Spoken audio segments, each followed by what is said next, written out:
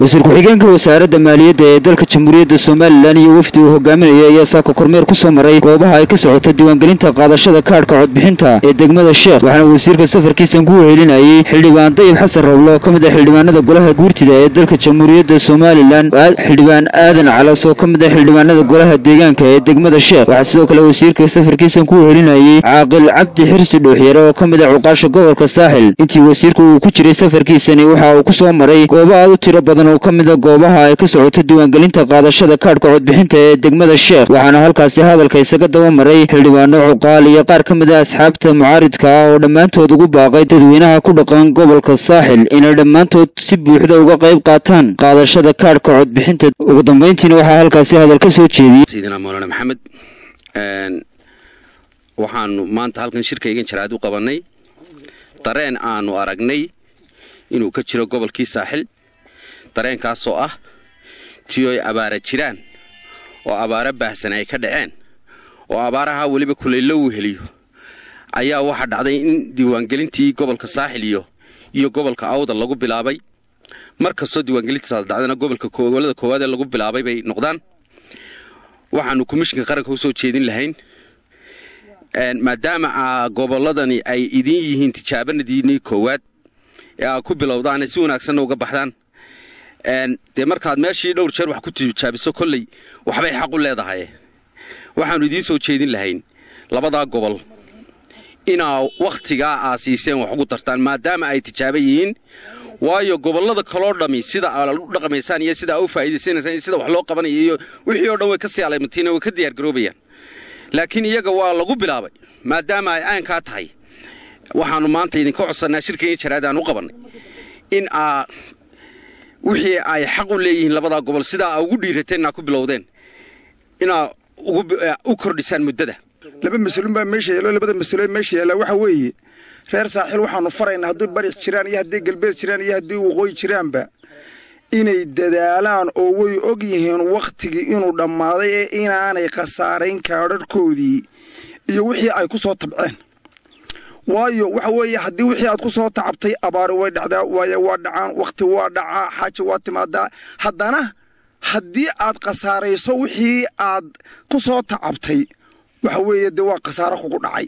Marka waxaanu leenahay gobolka saaxil hadday bari tahay hadday galbeed tahay hadday waqooyi tahay hadday koonfur tahay war dadaalo oo xenya laysma dhibaadsee rag ba abaartu wada heshray ragna waayo wada heliye dadaalo oo kaadharkiina gurta. Codsigaa odayada ee aan la qabo in loo kordhiyo muddada ay dadkani xaqa u leeyihiin inay kaadharhkooda qaataan.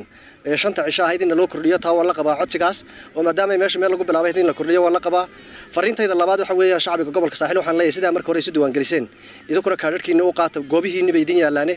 Fariintayda saddexaad ee aan gudbinaya waxa weeye raggii xildhibaanada doonayay ee baarlamaanka ahaayow iyo kuwii golaha deegaanka ahaaye ee xafxaflahaayee dadka soo gurayow hamiladii iyo hankii aa lahaydeen muu dhimanin.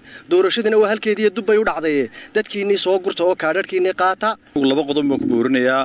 Qodob waxa weeye reer saaxiil waxaan leeyahay kaadhka qaata. Oo halkii aynu gaadhnay berigii hore gaadhnay iyo inaan dub uga soo noqon inaynu kor u kacna mooyaane. Qof kastaa waa inuu sidii uu markii isu xilqaamay ee uu kaadhka u doontay u qaataa fadhiga laga kacaa fariinta kalena waxaan u dirayaa komishinka qaranka waxaan leeyahay dee haddii aanu tijaabadii yeello oo nalagu tijaabiyo aanu tijaabadii qaadanay dee waddankayagii abaar baa ka jirta roobkii iyo kaadh bixintii baa mar wada kulmay. Culays badan baa jira dhulka waa laga soo dabarkacay. Halkaa waxaanu codsanaynaa in muddada naloo kordhiyo. Halkan anigu waxaan ka codsanayaa guddida komishinka inay noo kordhiyaan muddada maadaama oo ay xilligii roobka iyo isku beegmeen abaartii oo jirtay dadkii oo dhulkii ka wada maqan. Marka anigu waxaan ka codsanayaa komishinka inay noo kordhiyaan muddada. Intaasaan ku darayaan ku raacinaya intii hore. Wasiir ku-xigeenka wasaaradda maaliyadda cali maxamed dhagoole waannu doonayno inaannu halkan ku qabanno shir jaraa'id oo khuseeya. Aanu doonayno inaannu fariin cayiman ama fariin xambaarsan dadka reer saaxil inay diiwaangelinta ama kaadhbixinta ay si wanaagsan u qaataan. Ayaannu doonaynaa inaannu halkan u marino. Waa og tihiin haddaad tihiin dadka reer saaxil ee gobolkan degan waxay maanta diiwaangelintu socotaa maalintii shanaad. Waxaa ku eeg diiwaangelintii kaadhbixinta goobaha cayiman ee aan ahayn labada degmo la dhigayey waa maalintii ugu dambaysay haddii aan komishanka laga helin fariin waxaanu doonaynaa inaannu halkan uga faa'iidaysano inaannu laba qodob marino.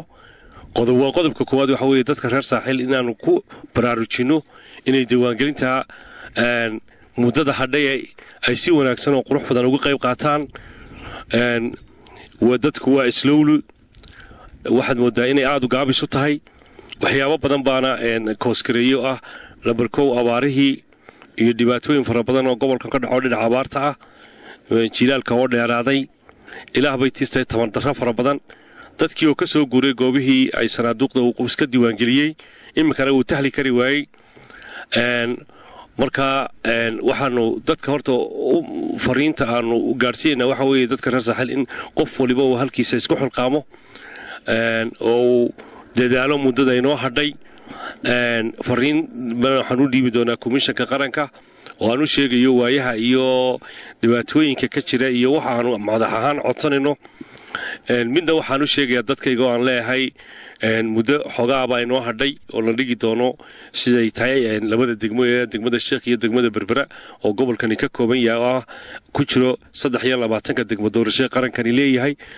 Labadaa degmo ayaa waxay ooli doonaan sanaaduuqda muddo cayiman. Iminka waxaa soo horeysa muddada toddobada cisho ah ee labadaa degmo ooli doonaan. Madax waanu dadaali doonaa oo wixii dareenka iyaga ah iyo kartidayada iyo awooddeeda dhaqaale. Intaba waanu isticmaali doonaa laakiin shacbiga waxaan ku boorinayaa iyo dadka reer saaxiil qof waliba halkuu joogo iska xilqaamo hadduu joogo magaalada gobolka tegdheer iyo hadduu joogo gobolka hargeysa labadaba inay xilqaan ballaadhan iyo magaranaysa xilkasnimo muujiyaan. Faysal aadan ismaaciil telefishinka qaranka somalilan degmada sheekh